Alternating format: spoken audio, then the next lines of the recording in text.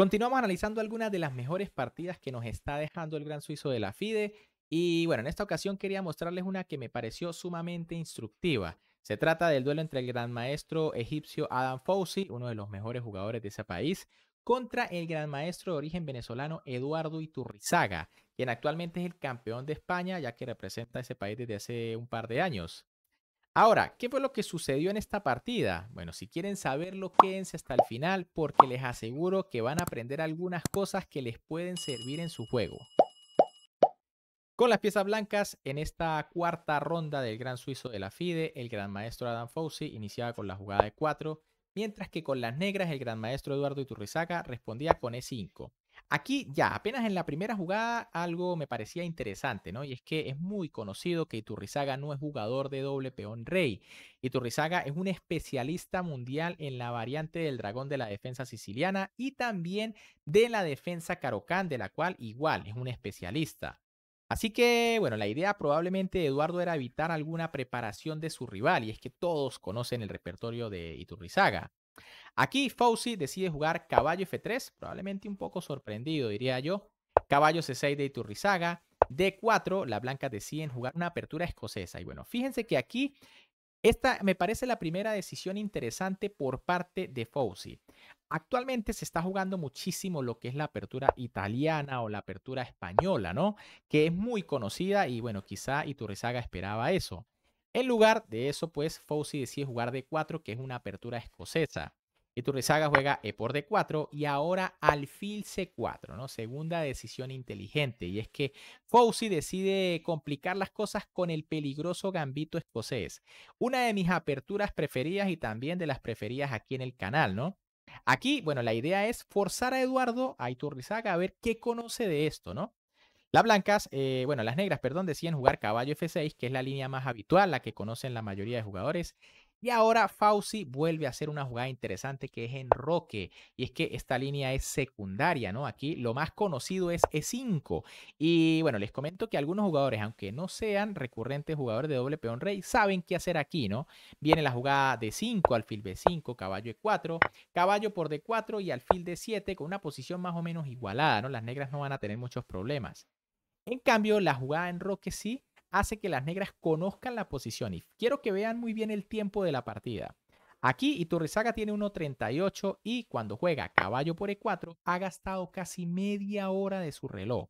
Obviamente aquí probablemente no está muy familiarizado con la posición. La otra opción era jugar alfil C5, que bueno, no es la mejor, ¿no? Tras E5 viene D5 y esto va a ser más complicado. Las blancas pueden capturar, se captura el alfil, peón por peón, torre G8. Y bueno, esto sí no está nada claro. Por eso Iturrizaga se toma su tiempo para jugar caballo por E4, torre E1 de Fauci que clava el caballo, D5 defendiendo y alfil por D5. Esta es una de las líneas más agresivas de esta posición, ¿no? Aquí las negras se ganan en el alfil aparentemente, pero es que las blancas responden con caballo C3. Buena jugada, aprovechando las dos clavadas de la posición. La clavada absoluta porque el caballo no se puede mover y la clavada relativa porque si el peón captura el caballo caería la dama en D5. Iturrizaga juega dama a 5, de nuevo se toma su tiempo para saber dónde mover la dama. Lo más habitual aquí es dama H5, ¿no? O lo mejor. Tras caballo por E4, alfil E6, viene alfil G5 y alfil D6. Digamos que es lo más conocido. Pero bueno, dama 5 tampoco es que sea mala.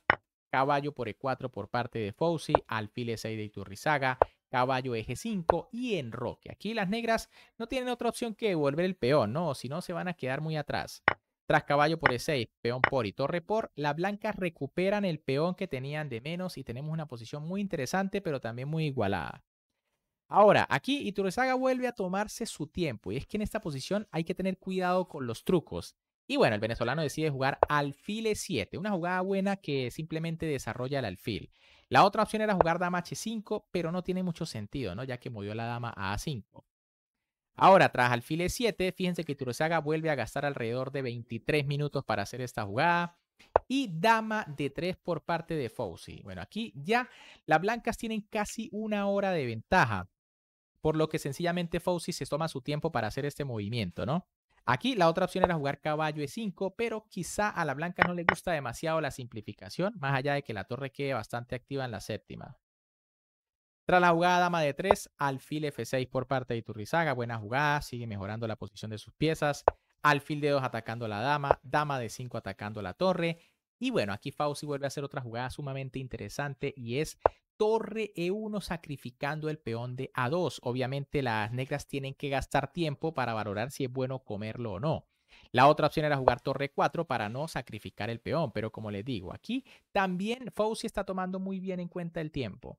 Y Turrizaga juega dama por A2, después de reflexionar 20 minutos. Y es que se nota que el venezolano no conocía muy bien este tipo de posiciones. Aquí hay que calcular todas las trampas que hay para comerse el peón, porque bueno, se está ganando un peón, ¿no? En cualquier final hay ventaja material. Y ahora B3. Fíjense que la posición se está dando tal cual lo quiere Fauci, ¿no? Ya casi tiene, tiene mucho tiempo de ventaja aquí, casi 45 minutos. Y Turrizaga juega H6, dama C4 por parte del egipcio, rey B8 eh, y alfil F4. Esta sí es una imprecisión por parte de Fauci que probablemente juega un poco rápido, ¿no? Pero es que sabe que tiene mucha ventaja en el reloj. Aquí lo mejor era H4 para abrirle una salida al rey y quitarse todos los temas en la octava fila del mate pasillo. Tras la jugada alfil F4, Iturrizaga juega dama A5, pero bueno, ya el venezolano empieza a tener problemas en el reloj, ¿no? Fíjense, 3 minutos 39 segundos, mientras que su rival tiene 44 minutos. Aquí, Fauci ahora vuelve a tomar una decisión sumamente arriesgada, pero interesante, ¿no? Y es que el egipcio juega torre por C6. De nuevo obliga a Iturrizaga a tener que calcular todas las complicaciones. Básicamente, o técnicamente, la mejor jugada era H4, ¿no? Pero torre por C6, tomando en cuenta el tiempo que le queda a las negras, es muy, muy inteligente. B por C6 aquí por parte de Iturrizaga, dama por C6, dama B6 y dama C4. Obviamente las blancas no van a cambiar las damas, ¿no? Porque sería sencillamente perder la partida con calidad de menos. En cambio, manteniendo la dama, pues las negras deben estar pendientes de los trucos con alfil por C7, un torre 6 en cualquier momento. Y ahora Eduardo con poco tiempo juega torre D7. Fíjense, a Iturrizaga eso le queda un minuto 10 en el reloj y tiene que hacer 20 jugadas más para terminar el control de tiempo y que le den media hora. Bastante difícil la situación. Aquí la mejor jugada era rey b7, una jugada que con poco tiempo es muy difícil de analizar, ¿no? Tras torre 6 viene c6 y las negras se están defendiendo. Tras torre de 7 que parece más lógica, torre E6 por parte de Fauci atacando la dama, dama B7 de Eduardo y ahora torre C6. Bueno, aquí parece que Fauci comienza a jugar un poco rápido intentando solamente eh, aguantar o mejorar con el tiempo de su rival. De nuevo, la mejor jugada era caballo E5, pero otra vez es una jugada difícil de hacer, ¿no? Porque tras alfil por se simplifica la posición. Claro que aquí hay amenazas con torre B5, ¿no? Pero bueno, tras la jugada torre C6, torre E8 por parte de Iturrizaga. Aquí ya era un poquito mejor de 3, pero va a transponer algo en la partida. Alfil por C7 de Fauci, rey A8, alfil G3, D3. Y bueno, aquí viene el momento crítico de la partida, ¿no? Iturrizaga tiene un minuto y medio, Fauci tiene 31 minutos, le lleva media hora en la partida. Y la blanca juegan H4, una jugada que es perdedora, pero con poco tiempo. Para las negras es complicado descubrir por, eh, por qué. De hecho, detengan ustedes el video e intenten descubrir por qué esta jugada es tan mala. Aquí lo correcto era la jugada H3, un detalle increíble, ¿no? H3 es buena y H4 es mala. Fíjense que tras D por C2 viene dama por C2 y la posición sigue compleja. En cambio, tras la jugada H4, D2 por parte de Iturrizaga, buena jugada. Y Fauci juega caballo por D2. Ahora, aquí es donde empieza a sentirse la falta de tiempo de las negras. Iturrizaga juega torre D4, jugada que es ganadora, ojo, pero era más directa torre por caballo. Fíjense que aquí pues las negras empiezan a tener bastante ventaja, ¿no? Porque tienen varios temas en la posición. Por ejemplo, si torre C7 por parte de Iturrizaga, viene torre D4, atacando la dama. Dama C5 quitándose, torre E1 atacando el rey. Rey H2, torre por H4, jaque, bonita combinación. Y tras alfil por alfil E5, alfil G3, torre, dama por C7, dama por alfil por y alfil por C7 llegaríamos a este final en donde las negras deben ganar con la calidad de más, más allá de que las blancas tengan un peón, no es suficiente compensación.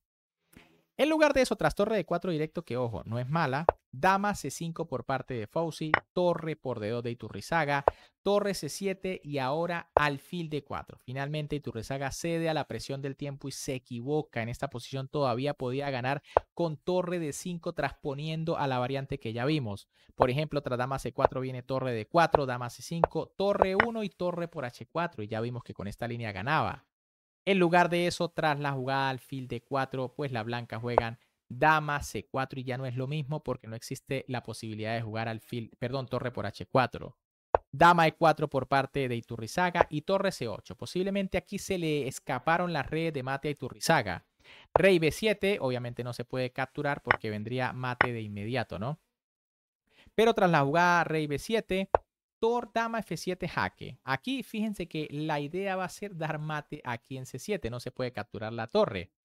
Eh, torre E7 por parte de Iturrizaga, torre B8 jaque apoyada con el alfil y rey C6, ¿no? Obviamente tras rey A6 esto viene con mate muy rápido.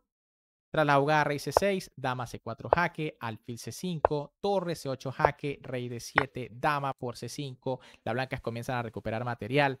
Rey E6, aquí sí, por ejemplo, torre de 1 jaque, viene rey H2 y las negras siguen en lo mismo. Pero tras rey E6, torre F8, amenazando ahora temas de mate, ¿no? Espectacular aquí lo de Fauci. Ya amenaza jugadas como dama C8, entre otras. G5 por parte de Iturrizaga, dama C8 jaque, torre de D7, dama 6 jaque, rey de 5 y torre F5. Fantástica jugada para liquidar la partida y tras este movimiento las negras deciden abandonar, ¿no? Porque ya no hay nada que hacer. Fíjense que si por ejemplo aquí torre E5 vendría torre por torre seguido de alfil por y bueno, esto es muchísimo material para las piezas blancas. Y si en lugar de eso se juega algo como dama por F5, aceptando el sacrificio, pues viene dama C4 jaque mate.